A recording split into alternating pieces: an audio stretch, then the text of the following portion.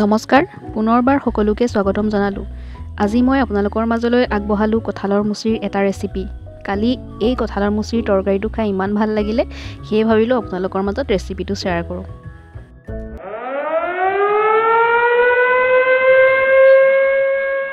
এই বজাৰৰ পৰা এক কেজি কঁঠাল কিনি অনা হৈছিলে। তাৰে মই দুটা কঁঠাল ল'লোঁ আৰু কঁঠালকেইটা বাকলি গুচাই অলপ মিডিয়াম চাইজত কঁঠালখিনি টুকুৰা কৰি ল'লোঁ। আচলতে মই কঁঠালকেইটা কটাৰ আগতে হাতত আৰু কটাৰীখনত অকণমান মিঠাতেল লগাই ল'ব লাগিছিলে মোৰ লগোৱা নহ'লে। যিমানে হাতত আঠা লাগিলে কঁঠালটো কাটি হোৱাৰ পাছত মই কেৰাচিন তেল লগাইহে আঠাখিনি নিয়াব পাৰিছোঁ।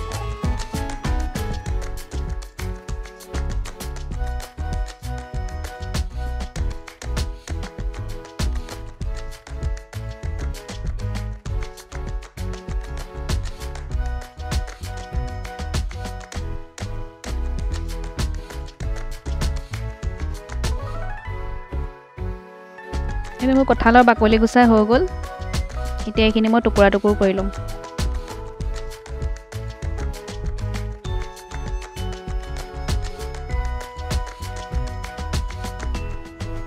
কঁঠালটো ফালি লৈ মই মাজৰ এই ডিলাডাল আঁতৰাই পেলাইছোঁ।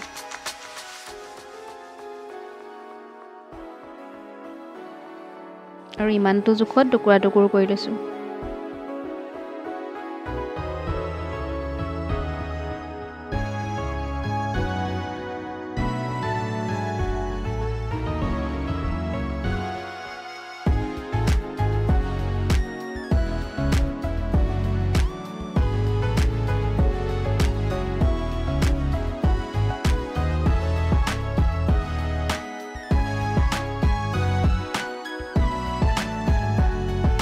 এয়া মোৰ কঁঠাল দুটা কাটি হৈ গ'ল।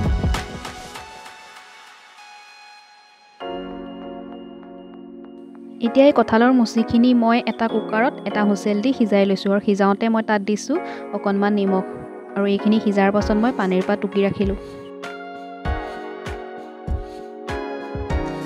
কঁঠালৰ মুচিৰ এই তৰকাৰীবিধ বনাবলৈ মই লগত লৈছোঁ এটা আলু আৰু এনেকৈ কাটি লৈছোঁ আলুটো। আৰু লৈছোঁ তিনিটা মিডিয়াম চাইজৰ পিঁয়াজ। অলপ ডাঙৰকৈ কাটিছোঁ পিঁয়াজখিনি। দুটা নহৰু এনেকৈ গোটাকৈ ৰাখিছোঁ। লগতে কেইফুটামান নহৰু আৰু এটুকুৰা আদা এনেকৈ পিচি লৈছোঁ। পিঁয়াজখিনি মই এনেকৈ ডাঙৰকৈ কাটি লৈছোঁ। লগতে তিনিটা বিলাহী এনেকৈ চপ কৰি লৈছোঁ। ইয়াত শুকান মছলা ইয়াত আছে চাৰিটা ইলাচি এটা লং কেইটুকুৰামান ডালচেনি দুটা দুখিলা তেজপাত দুটা শুকান জলকীয়া এচামুচ জিৰা আৰু এচামুচ জালুক। জিৰা জালুকখিনি মই শুকানে ভাজি লৈ গুড়ি খুন্দি ল'ম। ইয়াত আছে এচামুচ জিৰা পাউডাৰ এচামুচ কাশ্মীৰ ৰেড চিলি পাউডাৰ এচামুচ হালধি এচামুচ ধনিয়া পাউডাৰ আৰু এচামুচ মিট মছলা। এতিয়া এখন শুকান কেৰাহীত মই গোটা জিৰা জালুকখিনি ভাজি ল'ম আৰু এইখিনি এটা খুন্দনাত মই খুন্দি ল'ম। এইখিনি ভাজি হৈ গ'ল। এতিয়া সেইখন কেৰাহীতে দিছোঁ অকণমান মিঠাতেল তাত দিম মই এচামুচ হালধি আৰু ইয়াতে সিজাই থোৱা কঁঠালখিনি ভাজি ল'ম।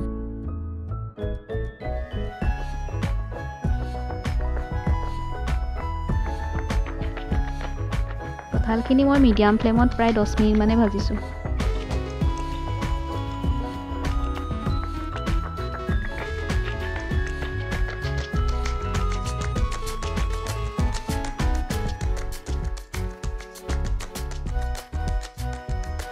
এইখিনি ভাজি হৈ গ'ল আৰু দহ মিনিটৰ পাছত মই উঠাই ৰাখিলোঁ।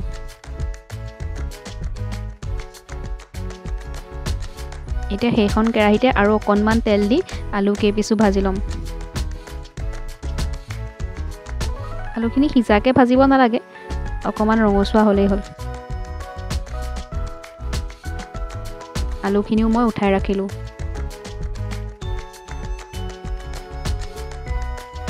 এতিয়া মই এই পাউডাৰ মছলাখিনি মিহলাই ল'লোঁ আৰু ইয়াতে খুন্দি থোৱা জিৰা জালুকখিনিও মিহলাই ল'লোঁ। আৰু ইয়াতে মই পানী দি পেলাই এইখিনি এটা পেষ্ট বনাই ল'ম।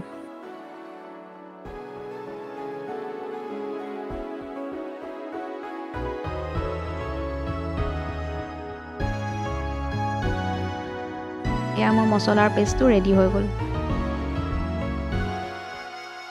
এতিয়া এটা কুকাৰ গৰম হ'বলৈ দি ইয়াতে মই অলপমান মিঠাতেল লৈ ল'লোঁ। তেলৰ জোখটো আপোনালোকৰ আন্দাজমতে দিব। মোৰ অকণমান কম যেন দেখাত মই আৰু অকণমান মিঠাতেল দি দিলোঁ। আৰু তেলখিনি গৰম হৈ অহাত ইয়াতে মই দিছোঁ এক চামুচ চেনি। চেনিটো দিলে এই কাৰীটোৰ কালাৰটো ধুনীয়া হয়। আৰু ইয়াতে মই এতিয়া শুকান মছলাখিনি দি দিলোঁ। ইলাচিকেইটা অকণমান থেতেলিয়াই লৈছোঁ।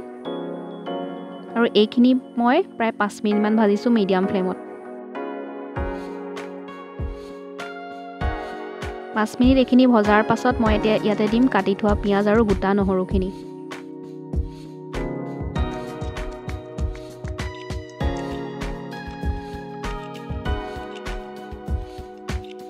আপোনালোকে এইখিনি লৰায়ে থাকিব নহ'লে তলত লাগি যাব পাৰে।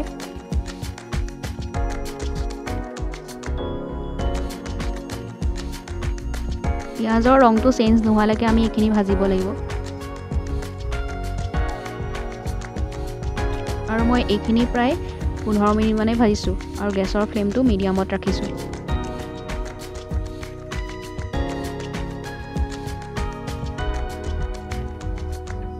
এতিয়া পিঁয়াজৰ কালাৰটো চেঞ্জ হৈছে। এতিয়া মই ইয়াতে মছলাৰ পেষ্টখিনি দি দিম। আৰু মছলাৰ পেষ্টটো দিওঁতে আপোনালোকে গেছৰ ফ্লেমটো ল'ত ৰাখিব নহ'লে মছলাখিনি জ্বলি যাব পাৰে।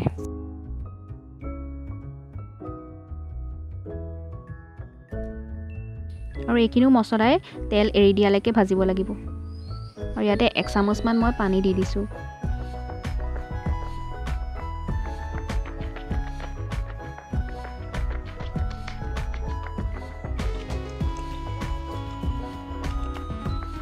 এতিয়া মছলাখিনিৰ পৰা তেল বিৰিঙিছিলে আপোনালোকে দেখিছে আৰু এতিয়া ইয়াতে মই চপ কৰি থোৱা বিলাহীখিনি দি দিম।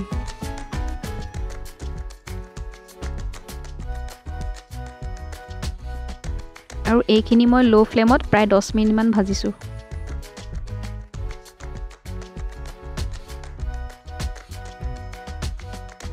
এয়া বিলাহী সিজিছে আৰু বিলাহীৰ পানীটো শুকাই গৈ তেল ওলাইছে।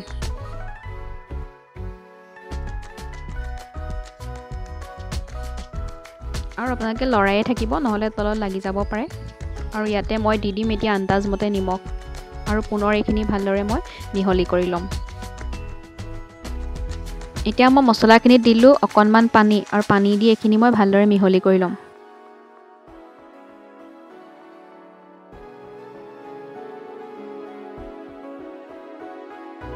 আৰু এতিয়া কুকাৰৰ ঢাকনিখন লগাই দিলোঁ আৰু ইয়াতে দিম মই এতিয়া এটা হুচেল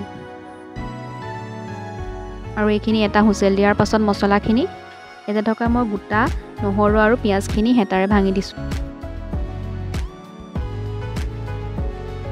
দেখিছেনে কালাৰটো ইমান ধুনীয়া হৈছে মছলাখিনি? নহৰু পিঁয়াজখিনি সম্পূৰ্ণ ভগাৰ পাছত ইয়াতে মই দি দিম এতিয়া ভাজি থোৱা কঁঠাল আৰু আলুখিনি। আৰু এইখিনি মই ভালদৰে মিহলি কৰি ল'ম।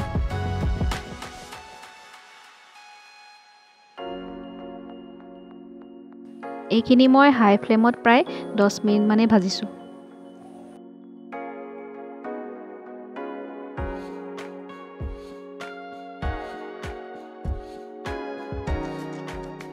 এতিয়া মই দিছোঁ ইয়াতে একাপ পানী আৰু পানী দি পুনৰ এইখিনি ভালদৰে মই মিহলি কৰি লৈছোঁ। গেছটো মিডিয়াম ফ্লেমত ৰাখি এইখিনি মই পাঁচ মিনিটৰ কাৰণে ঢাকি থৈছোঁ। হুচেল দিব নালাগে এনেই পাঁচ মিনিটৰ কাৰণে ঢাকি ৰাখিলেই হ'ল। ঢাকনখন দিওঁতে মই গেছৰ ফ্লেমটো মিডিয়ামত ৰাখিছোঁ। এতিয়া পুনৰ ফ্লেমটো হাইলৈ লৈ গ'লোঁ আৰু ঢাকনখন আঁতৰাই পুনৰ এইখিনি লৰাই ল'লোঁ। ইয়াতে মই এতিয়া দি দিম আন্দাজমতে পানী। পানীটো কিমান দিয়ে আপোনালোকৰ নিজৰ ওপৰত কথা। ইয়াতে মই পানী দি এইখিনি ভালদৰে মিহলাই ল'লোঁ আৰু পানীৰ পৰিমাণটো কম পোৱাত ইয়াত মই আৰু অলপমান পানী দি দিলোঁ। ইয়াত মই নিজৰ জোখতহে পানী দিছোঁ আৰু পানীখিনি দি মই কুকাৰৰ ঢাকনিখন লগাই দিলোঁ আৰু এতিয়া মই ইয়াতে দিম দুটা হুচেল।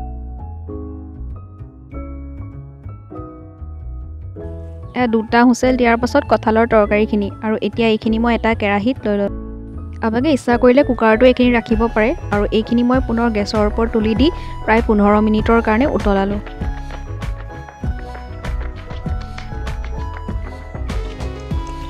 আৰু কাৰীটো ডাঠ হ'বৰ কাৰণে মই ইয়াৰ দুই তিনি পিচমান আলু ভাঙি দিছোঁ।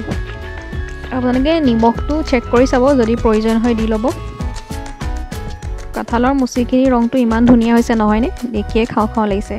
খাবলৈও পিছে ভালেই হৈছিলে।